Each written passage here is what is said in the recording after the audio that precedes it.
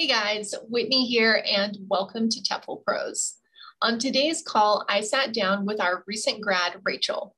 Now, Rachel's story is something that I think a lot of you can relate to.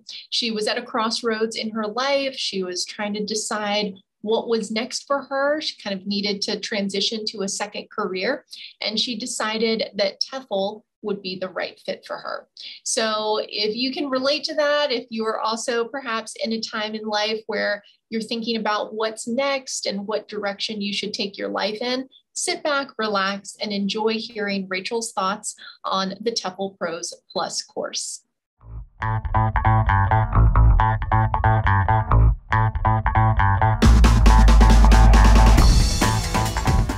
Hey, Rachel.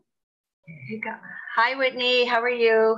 Good. How are you doing? Good. Relieved that my course now is completed and the load off my shoulders. So I'm Yay. good now. Now it's like I can ah, relax. yes. And congratulations on graduating. Woo. Thank you. and I got my certificate in the mail just on Friday. Oh, Friday. Oh, that's awesome. Okay. And on a holiday week. Good job, postal system. Okay. Um, well, Rachel, thanks so much for just taking some time out of your day and sharing your thoughts with uh, folks out there that are maybe just at the beginning of this process. Um, I would love it if maybe you could start off just sharing a bit about where you were at prior to getting your TEFL. Okay. Well, I would say, okay, so, well, first of all, I'm 58. And so I'm in, I feel right now, a new stage in my life where I was, you know, contemplating a new, whole new career because I was self employed with my ex that we were married for 30 years and now going through a divorce and owned a business with my ex. So, and now that is out. So I'm not, you know, doing that anymore. So I had to really think hard, okay, what am I going to do now? Right. And be self sufficient on my own as a middle aged woman, divorced, you know. So I really had to, and I went to, I was a flight attendant uh, for two years. And then the pandemic hit. And then I just didn't bother going back because of you know there was a lot. It was still it was hard work and i had to do a lot of traveling. So for me going back and forth to the airport and being away from home away a lot wasn't conducive to my lifestyle right now anyways. But uh, so then i had to really take an inventory okay well what have i done in my life? And i've done well i've done a lot of tutoring done a lot of supply teaching in the past you know and I have that teaching, um, uh, nurturing, and uh, caring, and uh, I've always enjoyed teaching uh, others. And I thought, well, you know what? Maybe I should work on the skills that I already have accumulated and those talent and work on that. And so then I started thinking, okay, I have a degree uh, in French and I am French and English. So I thought, well, okay, might as well work with something that I have. And I thought, you know, why not do the, and I've, you know, I start thinking about doing the, te- uh, the uh, teaching English as a second language.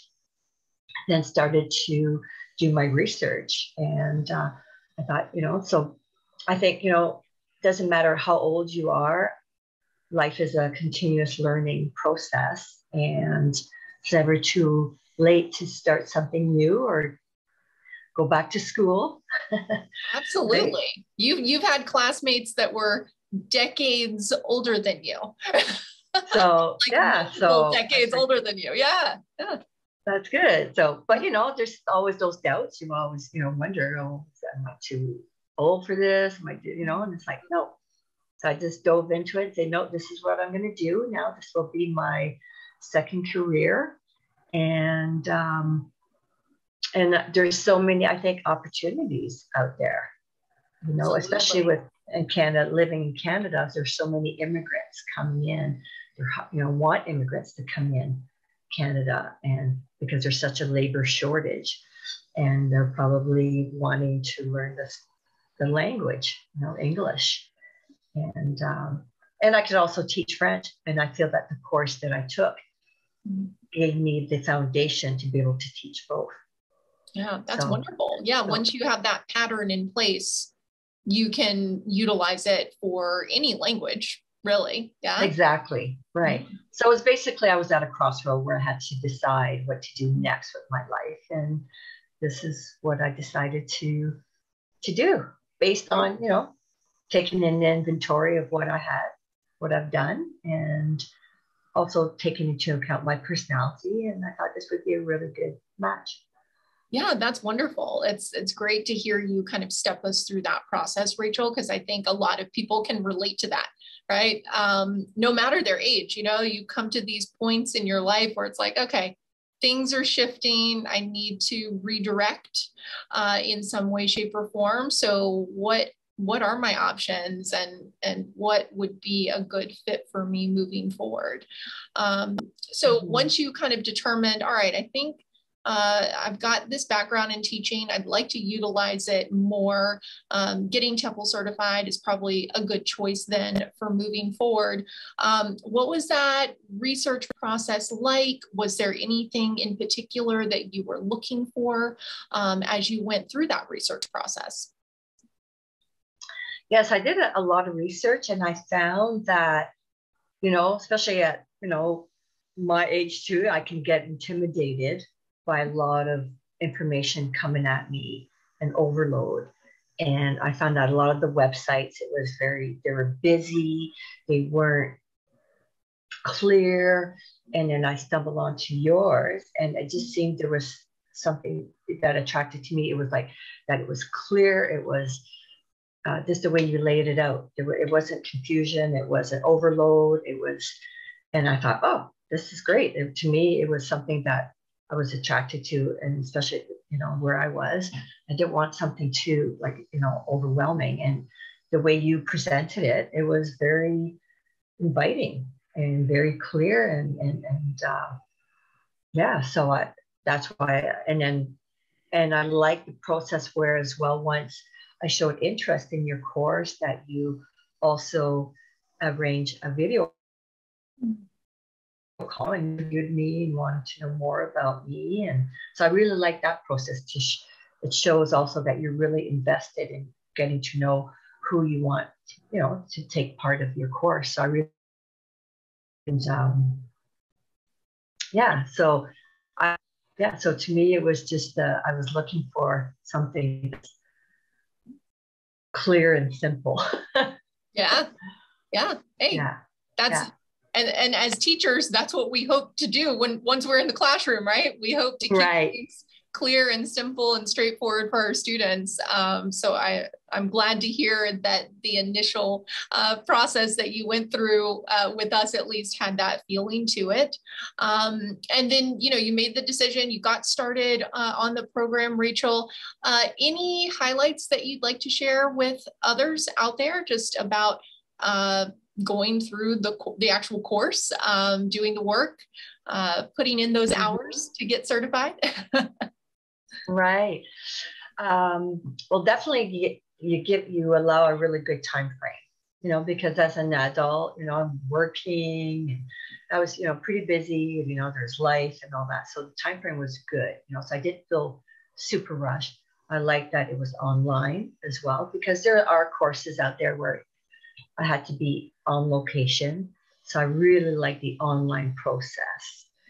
I love the modules and how they were so, um, again, like clear and just followed a, a very natural process. Mm-hmm. And, you know, the introductory model, you know, about being a teacher. You know, so that's a really good way to start. And so I really like the process of the course. I love how you were always there as well on video to guide us through each module. And I really enjoyed also the modules of watching other teachers teach in Thailand, you know, because I would watch it and I would say, oh, I would do this differently, or, you know, you know, oh, I like how he did this, or I like how she did that. So, you know, it was really good because I'm also a visual learner. So it was good to see you know, being it's almost like being in the classroom and, and seeing those videos of how other teachers teach and seeing the, you know, being right there in the classroom setting. So that was very helpful. And um, and I liked also, you know, to do your assignments after each um, module. Your portfolio Again. assignments. Yeah, portfolio assignments and uh, your little mini quizzes as well. So it really keeps you, you know, uh, engaged and really active and making sure, you know, that you're getting all the information. Um, for me, the course too that really, what I really enjoyed and which is really important is the lesson planning. And I never gave that as much thought before taking the course. You know, you kind of wonder, okay, I'm going to teach this and do that. And but I really like how you really emphasize on the le- you know, we really have to be prepared and do the lesson planning. And so that's something, yeah, um, that I, I really enjoy, and that's something that's really stood out for me. And um, there was another thought that I just thought that I wanted to say, and I, it just kind of flew out there. But the lesson planning, oh, and also the approach, right, where it's a student-centered approach, right? Mm, yeah. You know, because sometimes we think, oh, well, I'll teach it, you know, kind of like how I was taught, you know, but you know, I was taught more of a teacher-centered approach, you know, where you just listen and you know so you figure but yeah things are and i see it now being a supply teacher like you know this, the things have changed where it's a, a real interaction and students have more of a voice mm. and uh, so i really uh, liked uh, learning about that as well and, yeah i love that you've had this uh, dual experience rachel where you're on your TEFL course and simultaneous to that, you're going into the classroom three days a week um, as a supply teacher, um, which I think here in America, we would call it a substitute teacher. Is that okay? Yeah. Yeah. Um, where you're going in and like filling in for for other teachers, right? Is that mm-hmm. That's what supply yes. teacher meant? Yeah. So so Rachel has this interesting dynamic, you know, that she's gone through where it's like brushing up on my skills, learning more about lesson planning, classroom management, and then just being, you know, in the trenches uh, three days a week with all different age groups, all different classes. Um, that's just fascinating. All right, because you never know what you're walking into, right? On a daily basis, it's new every day. Yeah, a bit of that trial by fire, you know? yeah yeah. So, so, so, Rachel, so classroom management is something I'm really learning to be really good at. yes, absolutely. From kindergarten to high school. Oh, wow. I didn't even realize it was that big of a spread. Okay. Yes, right. you're getting lots of practice with classroom management in that case. right. Absolutely. Oh. Yeah. Well, and the um, lesson planning is just basically executing what the teacher has left for me. Yes. You know, I don't plan it sometimes to um, there was one day actually where they couldn't find the lesson plan because the teacher just didn't get around to doing it. She was really sick, you know, so I had to just spontaneously. Luckily, it was like uh, a kindergarten, senior K kindergarten, and they had a teacher's assistant there. Mm-hmm. So between her and I, we just basically, you know, she was there because she knows the routine, but you know, we had to go with the flow as well, right? Yeah. And just uh, spontaneously and just create the, the day. Wow. So that's that's a mm. lot. Um, that's a lot to take on. And I, I think it's really awesome that you've been able to have both of those uh, you know experiences simultaneous uh, to each other and uh, you know just take time over this past year to uh, not only learn about teaching, but get a whole lot of experience um, being in the mm-hmm. classroom.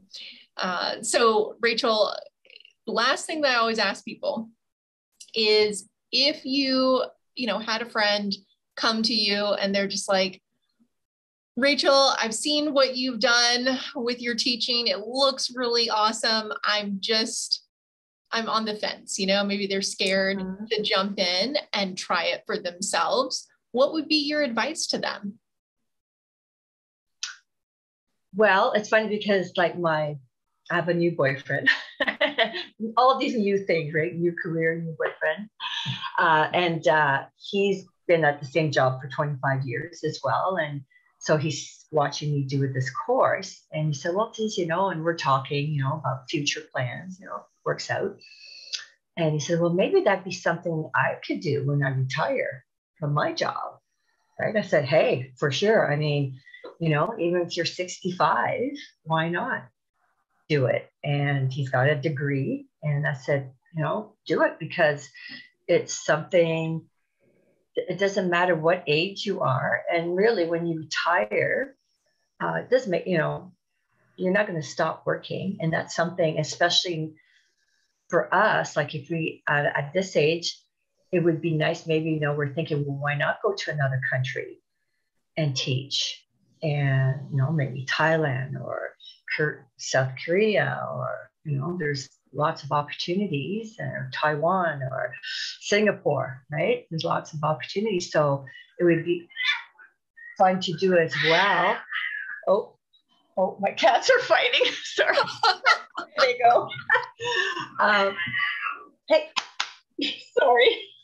Oh, you're fine. But, uh, anyway, so yeah, I would recommend it like doesn't matter what age you're at if you want because you know life doesn't stop even when you're retired you know and i think doing something like this teaching would be something very fun and and also still enjoy traveling and and and experience another country mm-hmm. and uh, so and and even if for somebody that's young definitely you know if you want to enjoy the world and and teaching is a good way of doing it, meeting new people, and um, you know, do your research. And then, but I would definitely recommend them going through you guys because to me, I feel very you know, very equipped to like and to go on and, and teach the course, you know, and and I have, you know, my my binder, I have my information and that I could always go back to and you know and my profile and then even even revisit the some of the modules right that have that i would have access to and some even some of the classes like i said oh yeah i want to watch that class again right or mm-hmm. see that module again so you know uh, have access to all that. So i think i would encourage it to anybody who wants to make her teaching career and do some traveling at the same time, why not? Get the best of both worlds at a young awesome. age or even when you're retired? Awesome advice, Rachel. Thank you so much. You're welcome. Thank